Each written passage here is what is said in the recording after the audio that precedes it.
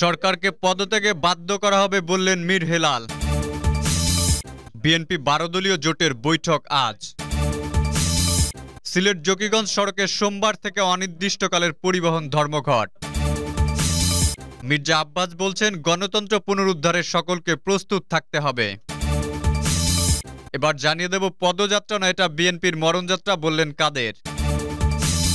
সর্বশেষ জানিয়ে দেব প্রধানমন্ত্রীর জনসভা স্লোগানে মুখর রাজশাহী নগরী। এতক্ষণ শুনছিলেন সংবাদ শিরোনাম, এবারে বিস্তারিত, তবে তার আগে আজকের সংবাদ সম্পর্কে আপনার মূল্যবান মতামত জানিয়ে দেওয়ার বিশেষ অনুরোধ রইল। সরকারকে পদত্যাগে বাধ্য করা হবে বললেন মীর হেলাল। ক্ষমতাসীন আওয়ামী লীগ সরকারকে পদত্যাগ করতে বাধ্য করা হবে বলে মন্তব্য করেছেন বিএনপির জাতীয় নির্বাহী কমিটি এবং মিডিয়া সেলের সদস্য ব্যারিস্টার মীর হেলাল। গতকাল শনিবার সন্ধ্যায় আগামী চার ফেব্রুয়ারি চট্টগ্রাম বিভাগীয় সমাবেশ সফল করার লক্ষ্যে হাটহাজারী উপজেলা ও পৌরসভা যুবদলের প্রস্তুতি সভায় প্রধান অতিথির বক্তব্যে তিনি এসব কথা বলেন। তিনি বলেন, দুর্নীতি ও অপশাসনের অবৈধ সরকারের জনসমর্থন প্রায় শূন্যের কাছাকাছি। আগামীতে সুষ্ঠুভাবে নির্বাচন হলে আওয়ামী লীগ একটি আসনও পাবে না। সরকার অবৈধ ক্ষমতা দীর্ঘস্থায়ী করতে বিরোধী দলীয় নেতাকর্মীদের উপর নির্যাতন চরম পর্যায়ে নিয়ে গেছে। নিত্য প্রয়োজনীয় দ্রব্য, গ্যাস ও বিদ্যুতের দাম অস্বাভাবিকভাবে বৃদ্ধি পেয়েছে। দেশে নীরব দুর্ভিক্ষ বিরাজ করছে। এই সরকারের ওপর জনগণ চরমভাবে ক্ষেপে আছে। দেশের মানুষ অবৈধ জুলুমবাজ সরকারকে আর ক্ষমতায় দেখতে চায় না। যে কোনো মুহূর্তে গণ অভ্যুত্থানের মাধ্যমে এই ফ্যাসিস্ট সরকারের পতন ঘটানো হবে। মীর হেলাল বলেন, বিএনপির দশ দফা দাবি এবং গুমখুন ও দ্রব্যমূল্যের ঊর্ধ্বগতির প্রতিবাদে জনগণ বিএনপির সঙ্গে রাজপথে আছে। বিএনপির প্রত্যেকটি একটি জনসভা জনসমুদ্রে পরিণত হয়। ইতোমধ্যেই জনগণ বুঝিয়ে দিয়েছে দণ্ডন নিপীড়ন করে গণসমাবেশ ঠেকানো যাবে না। আগামী চার ফেব্রুয়ারি চট্টগ্রাম বিভাগীয় সমাবেশ জনসমুদ্রে রূপ নেবে ইনশাল্লাহ তিনি আরও বলেন, জনগণ আগামীর রাষ্ট্রনায়ক হিসেবে তারেক রহমানকে দেখতে চায়। সুশাসন প্রতিষ্ঠায় বিএনপির রাষ্ট্র গঠনের রূপরেখা জনগণ ও সর্বমহল সানন্দে গ্রহণ করেছে।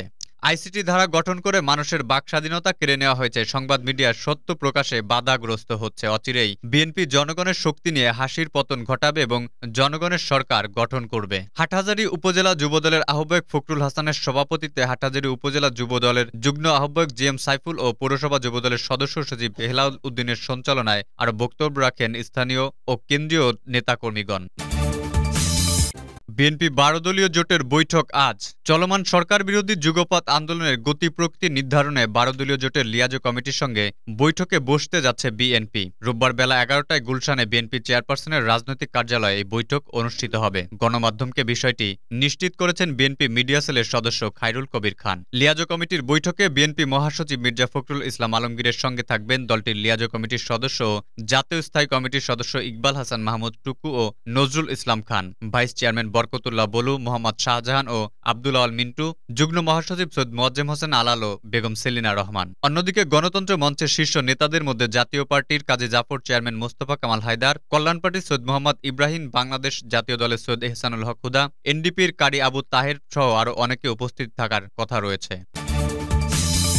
সিলেট জকিগঞ্জ সড়কে সোমবার থেকে অনির্দিষ্টকালের পরিবহন ধর্মঘট। বিআরটিসি বাসের অতিরিক্ত ট্রিপের প্রতিবাদে সিলেট জকিগঞ্জ সড়কে সোমবার ভোর ছয়টা থেকে অনির্দিষ্টকালের জন্য ধর্মঘটের ঘোষণা দিয়েছেন পরিবহন শ্রমিকরা। শনিবার রাতে জেলা সড়ক পরিবহন মালিক সমিতি ও সিলেট জেলা বাস, মিনিবাস, কোচ, মাইক্রোবাস, শ্রমিক ইউনিয়নের যৌথ সভায় এ সিদ্ধান্ত হয়। সিলেট জেলা বাস, মিনিবাস, কোচ, মাইক্রোবাস, শ্রমিক ইউনিয়নের সভাপতি ময়নুল ইসলাম ও সাধারণ সম্পাদক আব্দুল মুইনের সই করা এক বিজ্ঞপ্তিতে এ তথ্য জানানো হয়। জেলা সড়ক পরিবহন মালিক, শ্রমিক ঐক্য পরিষদ সূত্র জানায়, সিলেট জকিগঞ্জ সড়কে বিআরটিসির চারটি বেশি বাস চলাচল না করা প্রতিটি বাস আসা যাওয়া বাবদ একটি করে মোট চারটি ট্রিপ দেওয়ার দাবি জানিয়ে এগারো জানুয়ারি এবং তেইশ জানুয়ারি সরকারের সংশ্লিষ্ট দপ্তরে স্মারকলিপি দেওয়া হয়, কিন্তু সেই দাবি মানা হয়নি। এর মধ্যে গত কয়েকদিন ধরে বিআরটিসি গাড়িগুলো নিয়মনীতি না মেনে চলছে, তাই সোমবার ভোর থেকে অনির্দিষ্টকালের জন্য সিলেট জকিগঞ্জ রুটে ধর্মঘটের ডাক দিয়েছেন পরিবহন শ্রমিকরা। এতেও সমাধান না হলে সিলেট জেলা পর্যায়ে কঠোর কর্মসূচি পালন করা হবে। গণতন্ত্র পুনরুদ্ধারে সকলকে প্রস্তুত থাকতে হবে বললেন মির্জা আব্বাস। দেশের গণতন্ত্র পুনরুদ্ধার ও জনগণের ভোটের অধিকার ফিরিয়ে দিতে এবং বিএনপির আন্দোলনে দশ দফা দাবি আদায়ে সামিল হতে দলের সকল স্তরের নেতাকর্মীদের ঐক্যবদ্ধভাবে রাজপথে থাকার জন্য প্রস্তুত হওয়ার আহ্বান জানিয়েছেন দলের স্থায়ী কমিটির সদস্য মির্জা আব্বাস। আগামী চার ফেব্রুয়ারি ঢাকা বিভাগীয় সমাবেশ সফল করার লক্ষ্যে এই প্রস্তুতি সভায় তিনি এই আহ্বান জানান। আজ শনিবার সন্ধ্যায় মির্জা আব্বাসের বাসভবনে প্রস্তুতি সভা করে ঢাকা মহানগর দক্ষিণ বিএনপি। বিএনপির চেয়ারপারসনের উপদেষ্টা ও ঢাকা মহানগর দক্ষিণ বিএনপির আহ্বায়ক আব্দুল সালামের সভাপতিত্বে সভায় মহানগর দক্ষিণের সদস্য সচিব রফিকুল আলম মজনু সভা সঞ্চালনা করেন। সভায় আরও বক্তব্য রাখেন মহিলা দলের কেন্দ্রীয় কমিটির সভাপতি আফরোজ আব্বাস, বিএনপির জাতীয় নির্বাহী কমিটির সদস্য প্রকৌশলী ইশাক হোসেন, ঢাকা মহানগর দক্ষিণ বিএনপির সিনিয়র যুগ্ম আহ্বায়ক নবিউল্লাহ নবী সহ আরও অনেকেই।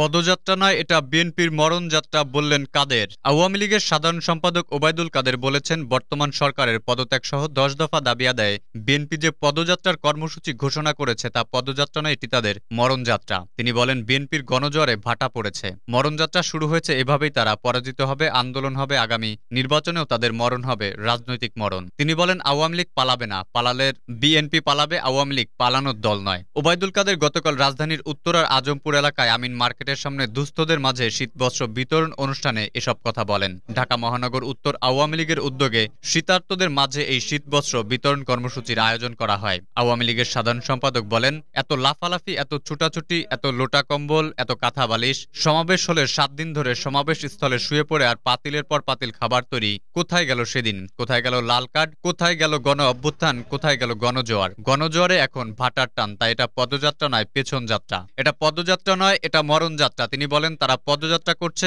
আমরা শীতবস্ত্র বিতরণ করছি, আমরা পাল্টাপাল্টি কর্মসূচি করছি না। তারা বাড্ডায় পদযাত্রা করছে, আমরা উত্তরায় শীতবস্ত্র বিতরণ করছি। ঢাকা মহানগর উত্তর আওয়ামী লীগের সভাপতি শেখ বুজলুর রহমানের সভাপতিত্বে সমাবেশে আরও বক্তব্য রাখেন, আওয়ামী লীগের সভাপতি মণ্ডলীর সদস্য মোফাজ্জল হোসেন চৌধুরী মায়া, আওয়ামী লীগের যুগ্ম সাধারণ সম্পাদক মাহবুব উল আলম হানিফ, সাংগঠনিক সম্পাদক মির্জা আজম, কার্যনির্বাহী সদস্য সানজিদা খানম, ঢাকা মহানগর উত্তর আওয়ামী লীগের সাধারণ সম্পাদক এস এম মান্নান কোচি, মহিলা আওয়ামী লীগের সভাপতি মেহের আফসোস চুমকি ঢাকা আঠারো আসনের সংসদ সদস্য হাবিব হাসান প্রমুখ। ওবায়দুল কাদের বলেন, আজকে শান্তি সমাবেশ থেকে বলব, ডাক দিলে চলে আসবেন। শেখ হাসিনার নেতৃত্বে আমরা লড়াই করছি, রাজপথে আছি, রাজপথে থাকব। আগামী নির্বাচন পর্যন্ত রাজপথ আমরা ছাড়ব না। আমরা মানুষের পাশে ছিলাম, এই শীতের কষ্টেও মানুষের পাশে আছি। মানুষের দুঃখ, মানুষের কষ্টে দুর্যোগে ঝড়, বন্যায় মানুষের পাশে ছিলাম, তিনি বলেন, বঙ্গবন্ধু থেকে শেখ হাসিনা আওয়ামী লীগের সত্তর বছরের ইতিহাস মানুষের পাশে থাকার। মানুষের পাশে আছে, নির্বাচনে জিতলেও আছে, নির্বাচনে হেরে গেলেও আছি। হারজিত আল্লাহ পাকের ইচ্ছা, জনগণের ইচ্ছা, জনগণ চাইলে আমরা নির্বাচিত হবে আর জনগণ না চাইলে দুই সালের মতো আমরা বিদায় নেব। এটাই তো আওয়ামী লীগের রাজনীতি। আওয়ামী লীগের সাধারণ সম্পাদক বলেন, আন্দোলনে খেলা হবে, নির্বাচন হবে, বিএনপির বিরুদ্ধে খেলা হবে।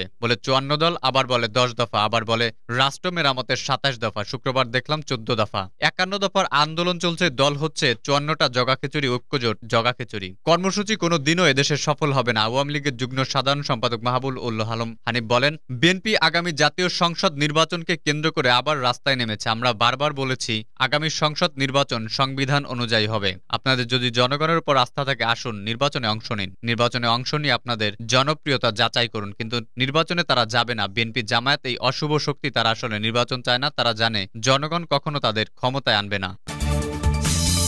প্রধানমন্ত্রীর জনসভা স্লোগানে মুখর রাজশাহী নগর। রাজশাহী মহানগরী জুড়ে বইছে সাজ সাজ রব প্রধানমন্ত্রী শেখ হাসিনা দীর্ঘ পাঁচ বছর পর যাচ্ছেন রাজশাহীতে। রবিবার সকাল থেকেই জনসভা স্থলে আসতে শুরু করছেন নেতাকর্মীরা। বিভিন্ন জেলা উপজেলা থেকে আগত নেতাকর্মীরা বাস থেকে নেমে মিছিল নিয়ে জনসভা স্থলে আসছেন। এরই মধ্যে সরগরম জনসভাস্থলের আশপাশের এলাকা। বিকেলে ঐতিহাসিক মাদ্রাসা মাঠের জনসভায় বক্তব্য রাখবেন প্রধানমন্ত্রী শেখ হাসিনা। জনসভাকে জনসমুদ্রে পরিণত করতে চায় আওয়ামী লীগের স্থানীয় নেতাকর্মীরা। সর্ব সর্বসাধারণের জন্য জনসভাস্থল সকাল আটটার পর খুলে দেওয়া হয়। সকাল থেকে মিছিল নিয়ে মাদ্রাসা মাঠের প্রবেশের মূল গেটে হাজার হাজার নেতাকর্মীর জটলা দেখা যায়। একের পর এক নেতারা এক এক অনুসারীরা নিজেদের পরিচয় জানান দিতে পরিধান করেছেন নানা রকমের টি শার্ট গেঞ্জি, টুপি। রাজশাহী মহানগর আওয়ামী লীগের যুগ্ম সাধারণ সম্পাদক আহসানুল হক পিন্টু বলেন, রাজশাহীতে প্রধানমন্ত্রীর জনসভা উপলক্ষে নেতাকর্মীরা মাঠে আসতে শুরু করেছে। বিভাগের আট জেলা থেকে দলের বিভিন্ন স্তরের নেতাকর্মীতে যোগ দেবেন। সকাল এগারোটার দিকে কেন্দ্রীয় নেতারা মঞ্চে উঠবেন।